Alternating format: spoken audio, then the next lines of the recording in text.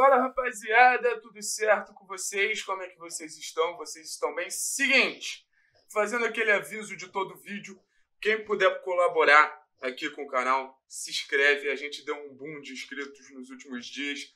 Estamos na luta para os 10 mil inscritos. A gente também precisa muito de você para curtir o vídeo. Comenta aqui.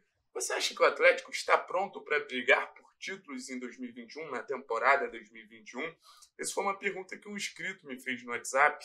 Confesso que eu não lembro o nome dele, eu apaguei a conversa, era um cara que não tinha foto nem nome no WhatsApp, mas eu fiquei pensando nisso, cara. Ele me mandou mensagem ontem à noite. Se quiser, se apresente e eu já vou pedir desculpinha porque tem uma obra aqui do lado, então em algum momento pode aparecer barulho de marreta, barulho de britadeira, enfim. Mas eu fiquei pensando se o Atlético realmente está pronto para brigar por títulos na temporada. Acho que vale muito a gente refletir sobre isso, porque, seguinte, o que, que faz um time brigar por títulos? Qualidade do trabalho, qualidade do elenco, é, mobilização do elenco. Por exemplo, eu vou sempre usar esse exemplo. Vocês podem ficar tranquilos que vocês vão ouvir muito a gente falar do Santos que disputou a Libertadores da temporada 2020 porque estava longe de ser um dos melhores times, estava longe de ser um dos favoritos. Mas a mobilização do grupo fez esse time chegar numa final, acabou perdendo para o Palmeiras, mas não apaga uma campanha de goleada contra Grêmio, goleada contra Boca.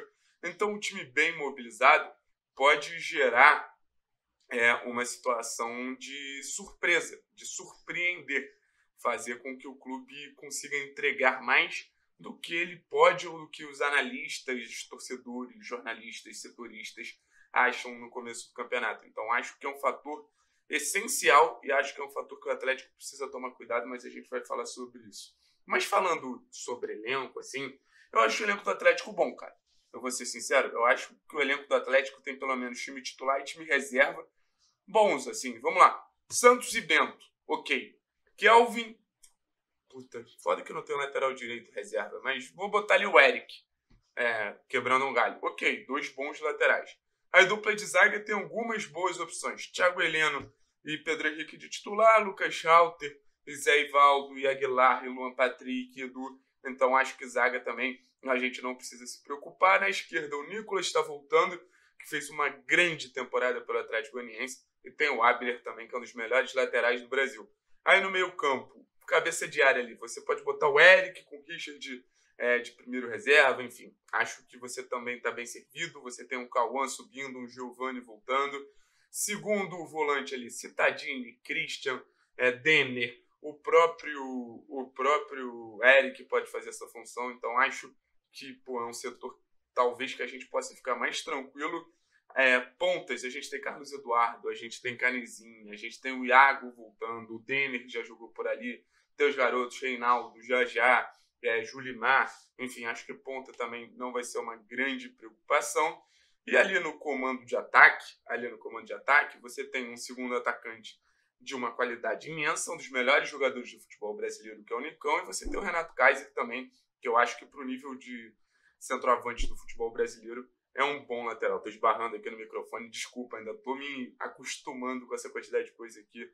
É um equipamento muito novo.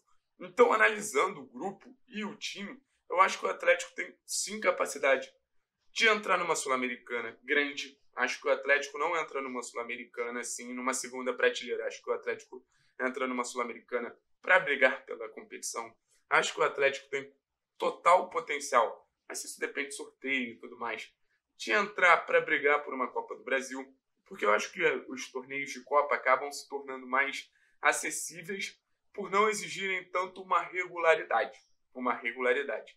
Então, se você conseguir dar um disparo ali, como o Atlético fez, por exemplo, em 2019, é, com a Copa do Brasil, a capacidade de você ganhar um título é, bem conceituado, um título grande, um título nacional ou internacional é grande. Mas agora, é, falando um pouquinho sobre o Campeonato Brasileiro, né, que é a nossa última e maior grande competição da temporada, que termina mais lá para o fim, acho que o Campeonato Brasileiro é uma competição que você depende muito do poder do seu elenco, você depende muito do poder do seu elenco, essa capacidade de mobilização que eu falei, porque você tem que ter um grupo fechado para assumir 38 desafios, sabe? Não é um grupo que vai ter que disputar 10, 14 jogos para ser campeão. Vai precisar disputar 38. Então o jogo do Cuiabá na Arena Pantanal é importante pra cacete, assim como o jogo contra o Flamengo no Maracanã. O jogo contra o Ceará na Arena da Baixada é tão importante quanto o jogo contra o São Paulo. Então, pô, beleza. Você vai ter adversários mais qualificados. Agora o Campeonato Brasileiro ganhou um formato com um aumento de números de vagas para pré-libertadores, pré-libertadores, para a Copa Sul-Americana e até mesmo o número de candidatos ao rebaixamento, que basicamente todo mundo tem uma briga no campeonato. Basicamente todo mundo tem uma briga no campeonato. Aí você vai começar uma competição, beleza, vai estar tá ali todo mundo se alinhando, vendo para onde cada um vai, sabe? Para onde cada um vai, quem vai brigar por título, quem vai brigar por Libertadores e tudo mais. Mas chega um ponto também, chega um ponto também que, pô, você vai enfrentar o esporte o esporte está brigando para não cair. Você vai enfrentar o Ceará que está brigando para a Libertadores. Você vai enfrentar o Santos que está brigando pelo título. Então você vai acabar entrando na briga de muita gente e cria um clima diferente na competição, sabe?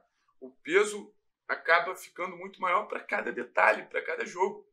Lembrando, se o Nicão tivesse feito o gol de pênalti contra o Botafogo, o único pênalti marcado com o Atlético no Campeonato Brasileiro, pro Atlético no Campeonato Brasileiro, a gente estaria na Libertadores, a gente estaria na pré-Libertadores.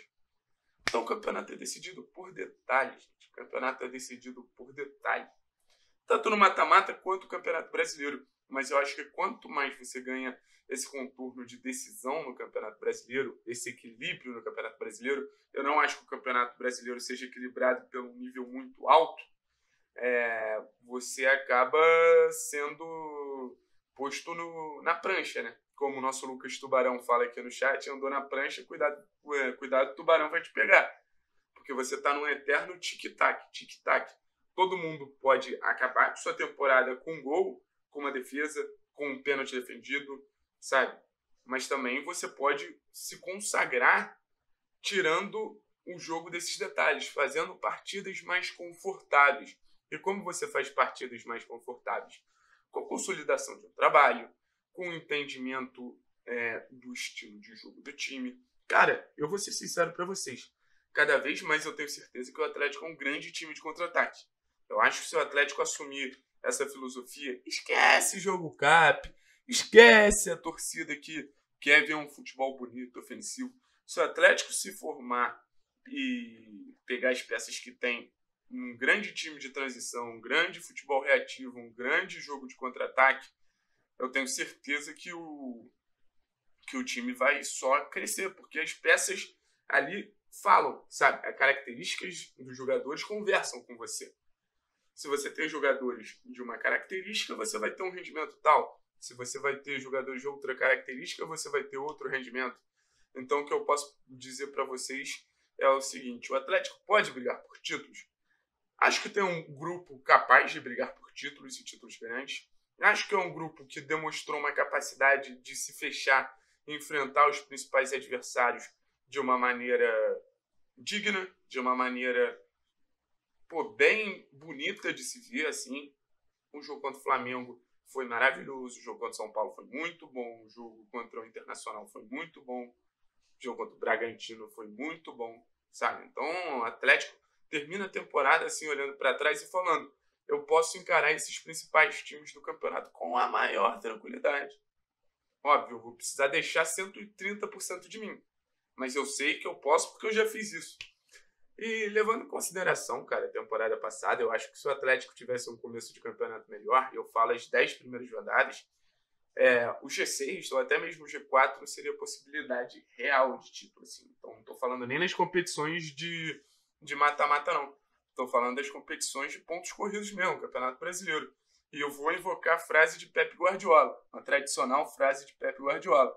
É, um campeonato se ganha nas últimas 10 rodadas, mas se perde nas oito primeiras. Então, para disputar o brasileiro, acho que o Atlético tem que começar com tudo, vão para cima, o cacete, que aí tem um caminho a se seguir, e eu acho que é um caminho muito muito duro, um caminho muito longo, um caminho muito difícil de se traçar, mas no final das contas é gratificante. Imagina o Atlético sendo bicampeão brasileiro, porque um dado que a gente precisa levar em consideração é como o, o Campeonato Brasileiro está polarizado, principalmente com os clubes de São Paulo, sabe? É, na era dos pontos corridos, na era dos pontos corridos, desde 2003, tirando o Cruzeiro, que ganhou três títulos, nenhum clube ganhou sem ser do Rio ou de São Paulo. Vocês entendem a loucura? E no Rio só ganhou Flamengo e Fluminense. Vasco e Botafogo não foram campeões. Porque, olha, 2003, Cruzeiro. 2004, Santos. 2005, Corinthians. 2006, 2007, 2008, São Paulo. 2009, Flamengo. 2010, Fluminense. 2011, Corinthians. 2012, Fluminense. 2013, 2014, é, Cruzeiro. 2015, Corinthians. 2016, Palmeiras. 2017, Corinthians. 2018, Palmeiras. 2019, 2020, Flamengo. Então tá muito polarizado. É difícil para clubes periféricos, eu não estou falando periférico de maneira é, depreciativa, longe disso, mas clubes que estão longe desse centro nacional do futebol, é, terem a capacidade e também existem fatores que acabam influenciando uma jornada de campeonato brasileiro é para você conseguir conquistar um campeonato longo. Sabe? Acho que, eu acho que o Atlético tem um mérito gigantesco olhando para elenco e sabendo do potencial dos nossos jogadores da base, eu acho que é um dos melhores elencos aí que a gente tem fora do eixo. Principalmente fora de São Paulo. Você tem Flamengo e os clubes de São Paulo com maior poderio financeiro. Mas vamos, vamos olhar aqui é, e pensar quem tem um elenco, elenco melhor que o do Atlético. Inter e Grêmio, não sei se, o, se os elencos, o Inter está se reforçando bem. Talvez tenha uma melhora e tem muitos jovens com muito potencial. Então vou botar o Inter melhor, o Grêmio não sei, confesso que eu não sei se é melhor. Vai perder o PP, tem possibilidade de perder o Jean-Pierre e tudo mais. É, aí, os times do Nordeste, eu gosto muito dos trabalhos que vem acontecendo é, no Ceará, mas também não acho que são elencos melhores, nem times melhores. O Bahia, não. No futebol do Rio, o Fluminense tem uma garotada muito boa que eu acho que pode se equiparar com o Atlético. Mas o resto, cara, é um time assim que tá, tá entre os melhores, sabe? Tá entre os seis, sete melhores times do campeonato. E dependendo do técnico chegar, dependendo de quem for consolidado no cargo, eu acredito que a gente possa mostrar que a gente não tem um elenco bom só no papel, sabe? Porque aqui, um bom trabalho pode potencializar esse elenco a virar entre os quatro, três melhores do Brasil mas também pode fazer o Atlético chegar na zona de rebaixamento, como foi esse ano. Né? Mas eu acho que é um elenco que vai diminuir é, os erros, é um elenco que se conhece melhor, é um time que sabe como jogar, é um time mais afirmado, é um coletivo melhor. Então vejo muito, muito, muito, muito potencial no Atlético para fazer um 2021 muito bom. E respondendo a pergunta do amigão que eu esqueci, se você estiver vendo esse vídeo, comenta aqui no chat é, pode comentar todo mundo, mas ele eu quero lembrar porque me ajudou com a pauta. Acho que o Atlético está preparado sim para brigar por títulos na atual temporada, beleza? Tamo junto, rapaziada. Valeu!